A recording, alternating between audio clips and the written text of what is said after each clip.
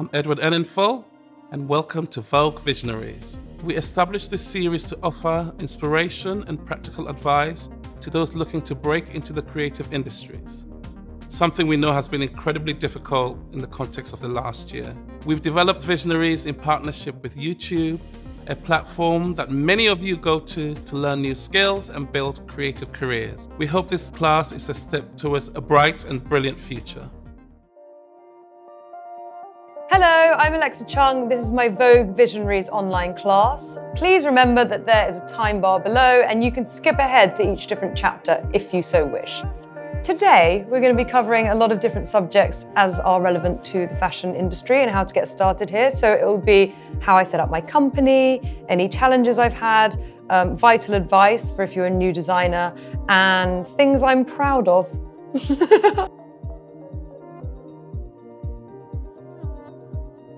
Anyway, just watch.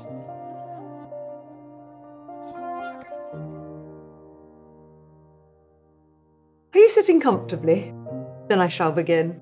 Um, when I was a child, I really liked clothes. I would say more than most children do. I was very concerned about style and outfits. When I used to go to the hairdressers with my mum, I would read Vogue and be like, whoa, wow.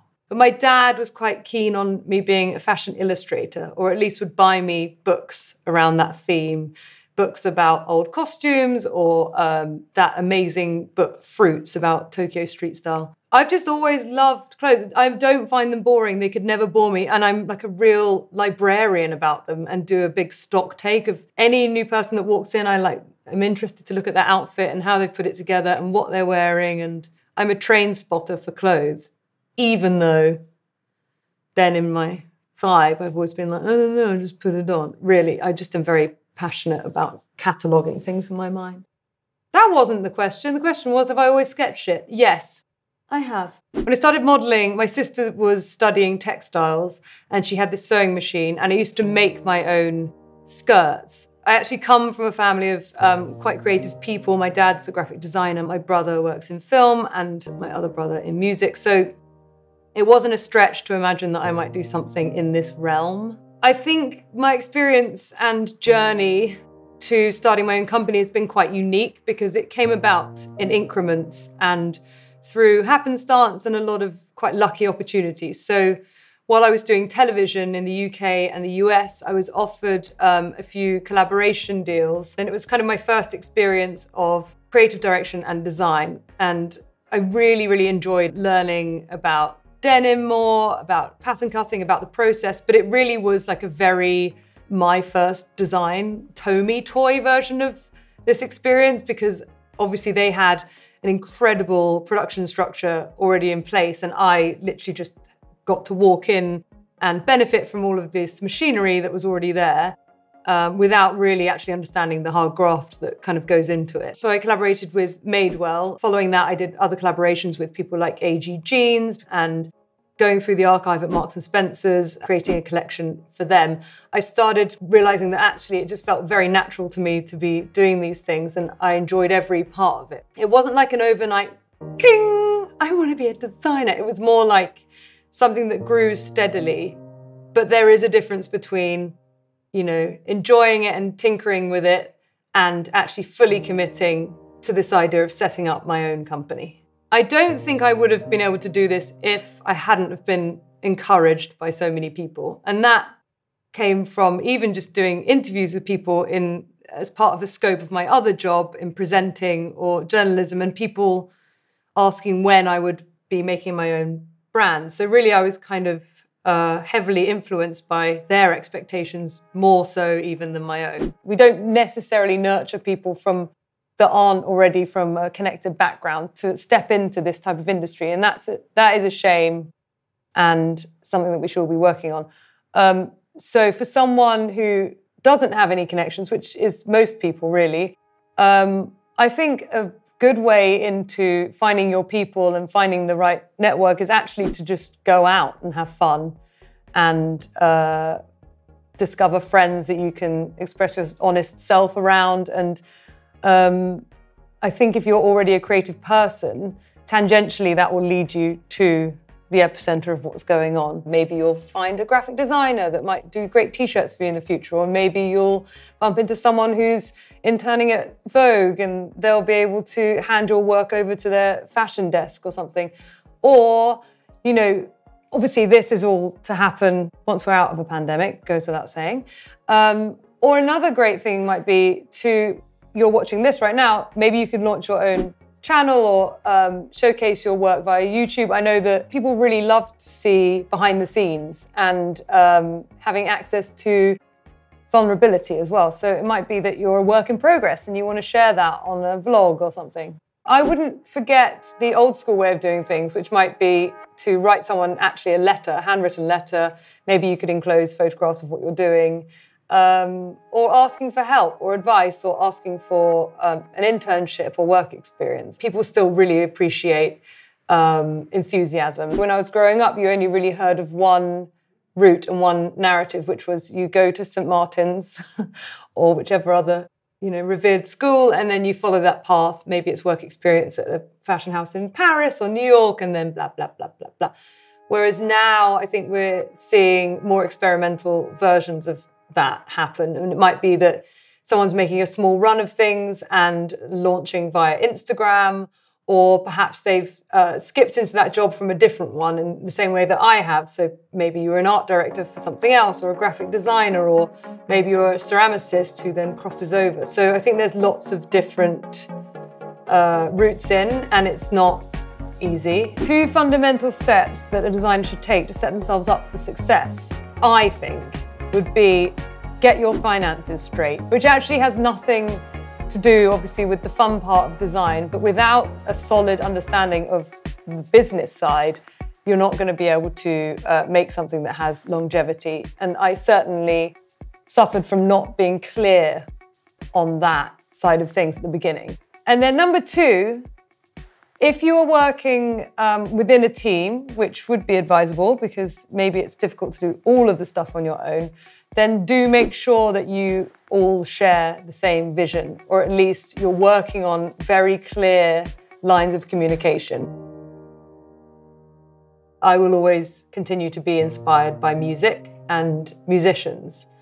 And as soon as that kind of occurred to me, everything became so much easier because I was almost kind of denying that natural interest. So throughout my life, even my first job, which was in television, after my real first job, which was modeling. Um, I only did TV because I loved music, and my first job was hosting Popworld, which is a music show. If it had been a painting show or Naked Attraction, I might not have said yes, but it was interviewing bands. So definitely music and the music scene is always woven into the fabric of what we design. A lot of my favorite uh, fashion icons from times gone by are men. That could be George Harrison, or I really love Brian Jones. We're actually working on a collection at the moment slightly inspired by him. Um, and then on top of that, as well as the classics, Charlotte Rampling, Sade, I also love street style of random people that aren't famous. So I've got this amazing book of Japanese street style, and every single outfit is just incredible. They've taken sort of Americana and then twisted it. Cookie Muller, who was an amazing writer and actress. I love her energy and her point of view. She did uh, Walking Through Clear Water in a Pool Painted Black, which is a very good read. Punk kids and club kids from the 80s. Fantastic. So, in terms of the design process, every collection starts with a mood board. For example, the collection that we worked on here was cult horror movies, David Lynch, Heathers. It's all about being able to communicate what I'm trying to say or think of to the wider team. In addition to a mood board, I'll also sit in and sketch things. And one of the great things about Silverio, who's my designer now, is that he, like me, communicates through sketch. And that's just been the most amazing gift because we totally understand one another, even though he is Italian and speaks a little English and I am English and speak zero Italian. We're able to communicate through image. And it's a smooth sailing process. My advice in terms of what to start with, if you're a novice designer, I obviously can't tell you which particular garment is the easiest for you to design, but it's more what, which one do you think uh, epitomizes your vision? So for me, we actually really focused heavily on a trench coat at the beginning because for me, that represented what I wanted to achieve, which was a brand that was classic, had heritage, practicality, femininity and masculinity bonded in one zone, and was a fresh take on something old. So for that, for me, was the lens through which everything could happen. So if you find your version of that item, and I would suggest, by the way, it's not denim because denim is actually chronically hard to get right. The moment where I felt I actually was a designer. And that's a good point because I did have imposter syndrome for a very long time. And I do think it was detrimental to what I was putting out. But we might get to that in another chapter. but the moment I felt like I truly was a designer was when I took a bow at my first ever fashion show. Okay, here we are, chapter three. Um, this is our new collection, Vertigo. For us, we figured out that actually people prefer something that's a little wilder. Like, you know, you can get your standard classics from maybe other people. I think we do very well at those, but people like color from us. So this is like if you left a yellow sock in the wash. These two together would be very nice. Maybe you could put a little cowboy boot there. I think another signature of our Alexa Chung world is mixing that masculine and feminine vibe. So if we had a very pretty saccharine dress, this little ruffle mini, then a key thing for us would be to team it with our tailoring. So we've got this really delightful, I'm just gonna park that there for a second. We've got this amazing coat, which I'm so happy with. Um, very, very long, double-breasted, but something that's like really sharp and boyish. And then underneath, you've got this like frilly meringue nonsense. Now I have a greater understanding of where we sit within the market in the sense that we're a contemporary brand. And um, I think we're at a really good price point. We want to make it have this Alexa Chung personality. So we might work on the buttons. Something that's nice specifically about the London fashion community is that there's no barriers between sharing information. So designers, other people are more than happy to help recommend. If you're like, where did you produce those t shirts? Or I'm struggling to find the right cord, they might be able to recommend a fabric mill. So don't be afraid to ask around.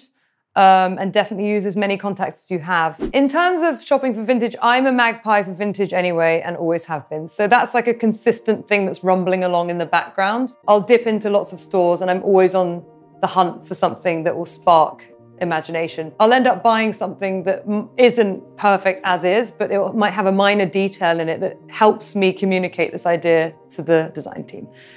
I can show you, actually, we've got like random knitwear in here. This was something I bought in a charity shop in Holloway.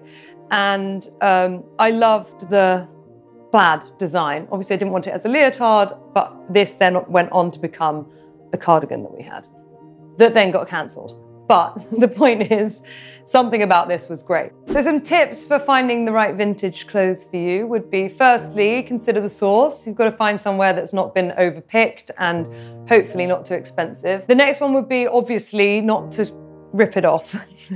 Something might be really tempting. You're like, oh my God, that's amazing. It's from 1982. It's this and this and this. It's so vital that you're putting your own spin on that because otherwise you're just regurgitating someone's work. And then the third tip would be maybe it's about dry cleaning it before you make your fit model put it on.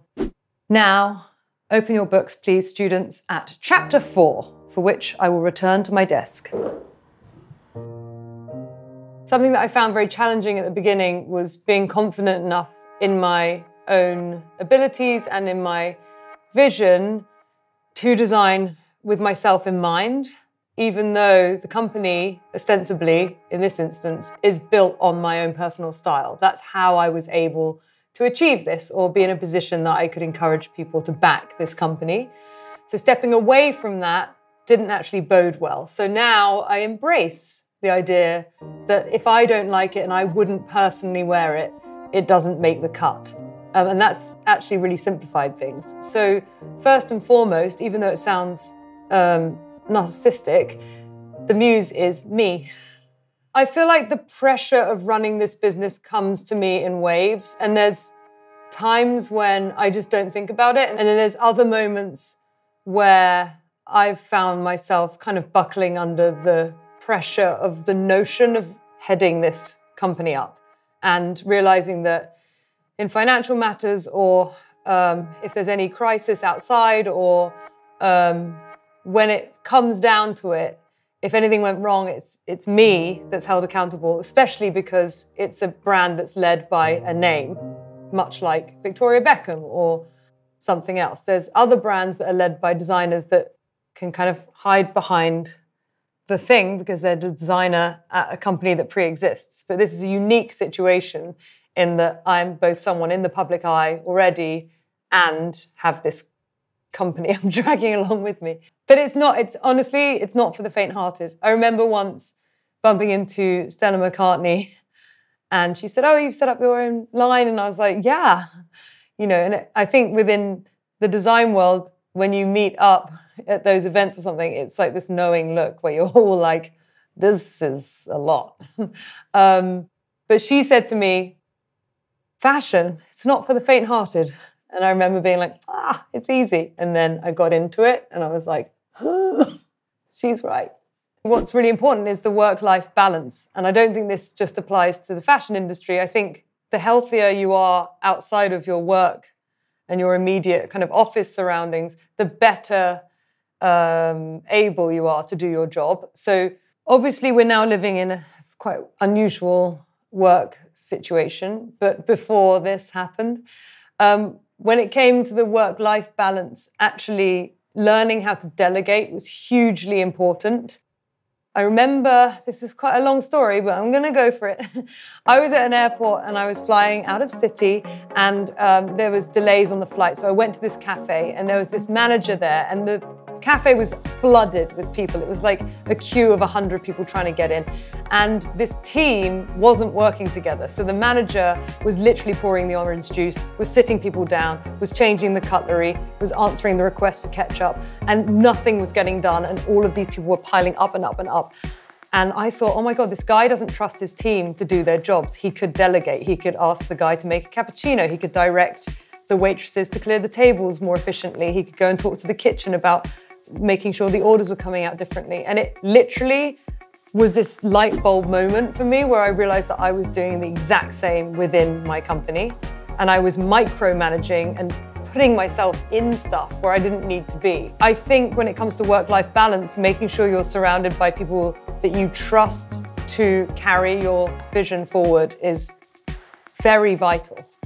I used to live a life where I was constantly in a state of high alert and was taking on too much and was running multiple projects. And actually, setting up these companies meant that I found a lot of peace because I live in one place, I work on one thing. There's kind of a singular goal. Um, so, my advice would be make sure you've got your other shit together as well in your personal life before you try and heap on a lot of pressure of a professional thing. Within this company, there's um, a team that runs the marketing and the social media and uh, the web store and everything. So I think acknowledging that that really is a fundamental part of the business is very, very important. Your social platforms, uh, be that video or your website, is as much of a shop window as having a physical store. So you need to take it on as if it is as imperative and important at um, telegraphing your message as anything else. And I imagine that it's like um, running an editorial magazine and being able to curate your social media and your whole marketing plan to look like if you were an editor of a magazine. So things can run alongside it. It doesn't always just have to be uh, the clothes. For example, on our website, monthly, I do a newsletter which helps communicate to the wider audience stuff behind the scenes, whether that's design and collection inspiration or uh, culturally relevant moments. We have um, a Spotify, we have our own YouTube channel, we have a lot of different channels and avenues which enrich the entire experience and mean that we're able to communicate and get feedback and work alongside this community that we're building. So it's not just about um, a silk shirt. It's like the story of that shirt and how it can make you feel and how it came about. My brain is very foggy when it comes to anything uh, to do with logistics, and I'm not the most practical person. Um, so it was really important to hire people that are really good at that. So I wouldn't say that numbers are a natural strength of mine, even though I got an A at GCSE in maths. My strength is like new ideas all the time and personality and being able to um, take a snapshot of stuff that's culturally relevant and digging into the past and you know connecting the dots between music, film, literature, and fashion. Um, that said, it, I learned how important it is to be included in those conversations and to be able to hold your own in a board meeting and actually know your shit. I need to know the company inside out. And it's a great benefit to me that our CEO, Marcus, is so transparent, not just with me, but with the entire team. So we have weekly meetings so that everyone from an intern to someone that's working on graphics or head of production, we all are sharing information and we all understand where we are financially in the company, everything. We're completely transparent. And that's been so, so helpful because rather than being like, oh no, we can't afford that for that budget, for that shoot, you actually understand why and everyone's pulling in the same direction. So the best thing about running the business, number one, is that I have um, autonomy over my self-image and it's spilled out into this larger thing. I used to be borrowed by other people and I started to lose my way and not really understand who I was. It was really stressful being an it girl, guys. Um, but this has been great for my self confidence and rediscovering my voice. Um, it's a, an excuse to self educate. So I didn't go to university and study fashion or literature or whatever. I just didn't go to university. Um, and in the design process, you learn so much. I feel like I've done a degree and an MA and a, whatever the other things are. A master's is an MA. Um, in so many things beyond just my usual remit, would, which would be looking at, staring at pictures of musicians from the 70s. As well as that, I've learned so many other things. So um, self education has been the second most rewarding thing of starting this business. Do you know what I've started doing is I've come up with this character that's like a French actual designer for when I'm giving feedback because I have struggled with, and I think a lot of women maybe find this, is how to give direct feedback without coming across as quote unquote bitchy is my big concern. But something recently that's happened is I've started being this like French fantasy designer that's like, this is disgusting, it's not what I wanted. It's moire silk. No, it's not perfect um, which is my own problem because instead of having to make things funny, I should be able to just say, I don't like this. The way I see it is, and I know I, am millennial, so I think our generation's meant to suffer from thinking that we can do everything, but sorry, guys, we can.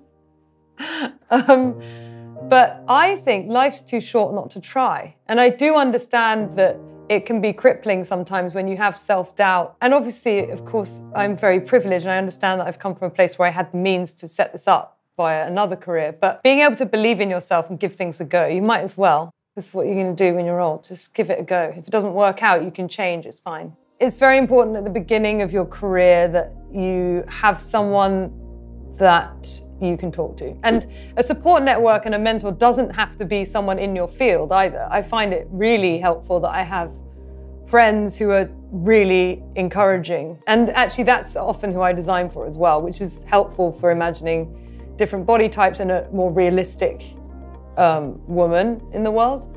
But uh, yeah, I think making sure that you're not isolating yourself. I know that fashion in particular, unfortunately, suffers from quite a high rate of people really struggling. And I think that comes from uh, a creative mind being overactive, but also sometimes finding yourself quite isolated in these positions. So, more than ever, I think it's very important to have uh, support around you.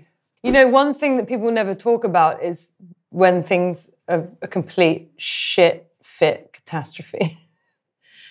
and I think that's really dangerous because when you face these adversities, and I'm talking loosely as well because I don't even want to talk about it, but you know, there was a point in time in my company when things weren't great. Things got a lot better when I realized that uh, not to look at competition or see other people as competition, but instead to just stay in my lane and do what I'm doing, and that's fine. You know, I'm really proud of the clothes I make, and it might not be um, a classic way of doing it. I have no idea because I have no experience of this job before I started doing it.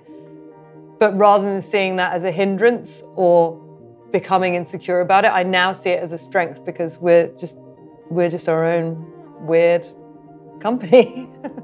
um, what would I like to have known? I think I really was prepared to do this. I was prepared to set up my own company. I really did go in with my eyes open. I understood and I craved it. But if I could have told myself something when I was younger, it would have just been that you know what you're doing, just trust your instincts. You, you've got it. Three most important lessons I've learned. One, um, be true to yourself. Two, work hard. There's no skipping things. You can't expect things to turn out well if you're not putting in the time and effort. And three is just be nice. I really think being nice is really helpful and finding things funny because it's not life or death, guys. It's just clothes. There you have it. That was it. That was uh, my Alexa Chung Vogue Visionaries. Thank you so much, Vogue, for having me. And thank you for watching. I hope you enjoyed it. Bye. Now go and flourish.